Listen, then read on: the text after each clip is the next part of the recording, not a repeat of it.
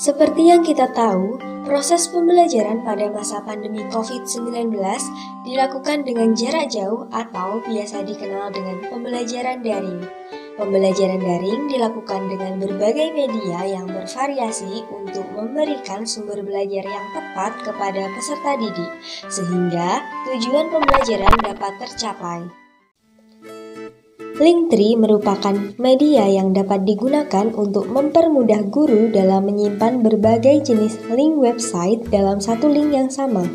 Linktree dapat digunakan sebagai media pembelajaran karena dapat menyimpan berbagai link sumber belajar peserta didik seperti modul, materi, video, dan kuis yang dapat digunakan selama proses pembelajaran.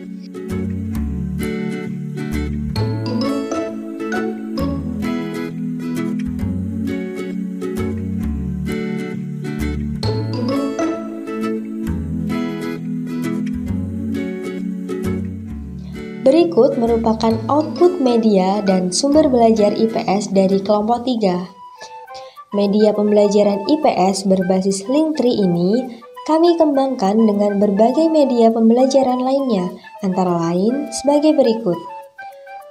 Yang pertama ada e-modul, yang kedua ada PowerPoint berbasis Canva, yang ketiga ada video berbasis YouTube, dan yang terakhir ada kuis berbasis EduCandy.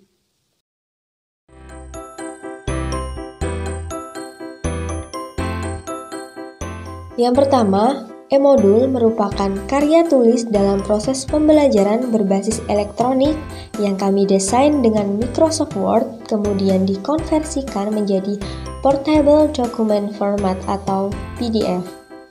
E-modul ini merupakan pilihan yang tepat untuk mempermudah guru dan peserta didik dalam menunjang proses pembelajaran daring. E-modul ini merupakan bentuk adaptasi pendidikan dengan perkembangan teknologi untuk mempermudah guru dalam menyampaikan materi kepada peserta didik yang telah dirumuskan secara jelas dan terstruktur sebagai sumber belajar.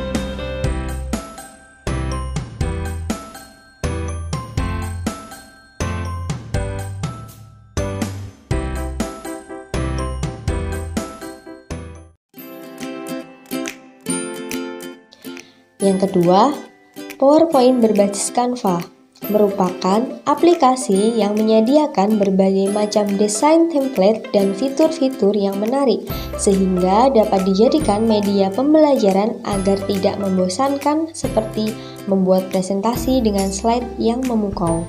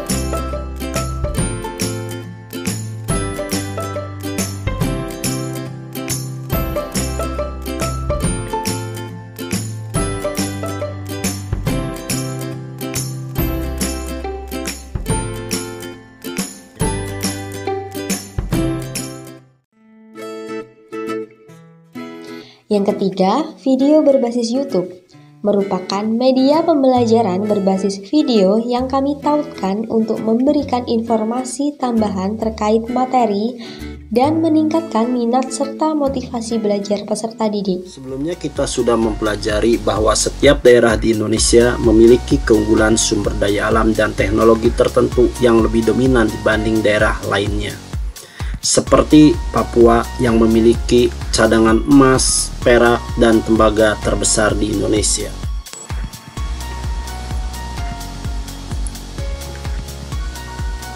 Pulau Kalimantan memiliki keunggulan penghasil batu bara terbesar, rotan, dan kayu yang berkualitas tinggi.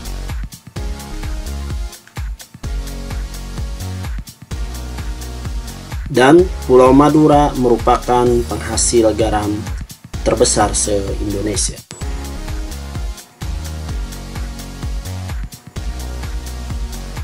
Sementara Jawa Barat tidak menghasilkan batu bara, emas, perak, tembaga, rotan, dan garam. Hal ini merupakan keterbatasan bagi Provinsi Jawa Barat.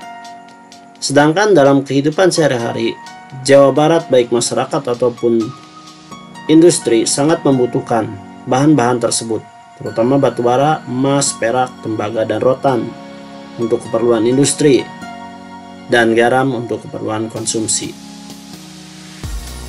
Jawa Barat memiliki keunggulan beras, teh, dan hasil industri.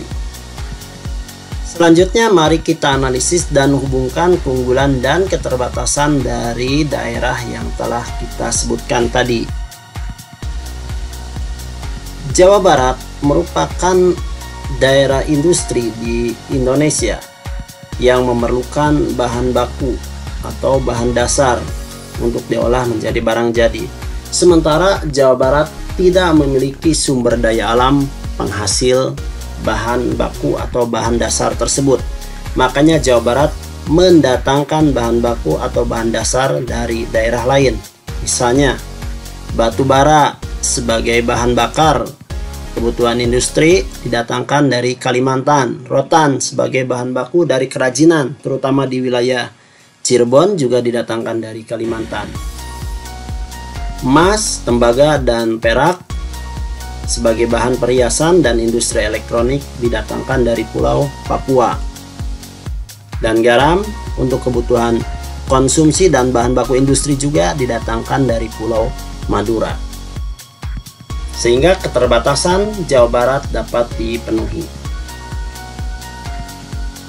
Sementara keunggulan Jawa Barat yaitu beras, teh, dan hasil industri yang telah diolah tadi kemudian dijual dan disebarkan ke seluruh Indonesia. Dan inilah yang merupakan perdagangan antar daerah atau antar pulau.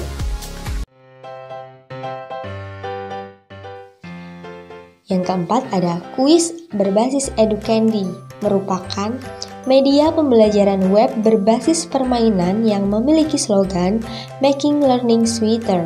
EduCandy memiliki berbagai variasi permainan dengan anggota yang tak terbatas.